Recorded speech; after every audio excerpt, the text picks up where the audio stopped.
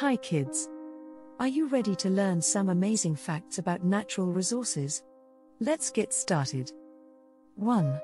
Natural resources are materials and substances that occur naturally within the environment and can be used for economic gain. 2. Some examples of natural resources include oil, coal, water, timber, and minerals like gold and silver. 3.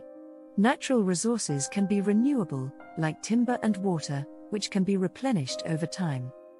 3. They can also be non renewable, like oil and coal, which take millions of years to form and cannot be replaced once they are used up. 4. Forests provide many natural resources, including timber for building and paper, as well as medicine and food. 5. The oceans are a major source of natural resources, including fish, seaweed, and oil. 6. Solar and wind energy are also natural resources. They are renewable and can be used to generate electricity without polluting the air. 7. Many natural resources are important for our daily lives and are used to make products we use every day, like paper, plastics, and fuels. 8. It is important to use natural resources wisely and not waste them.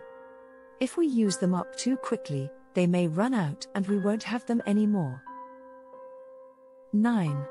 Some natural resources are being used up faster than they can be replaced, which is a concern for the future.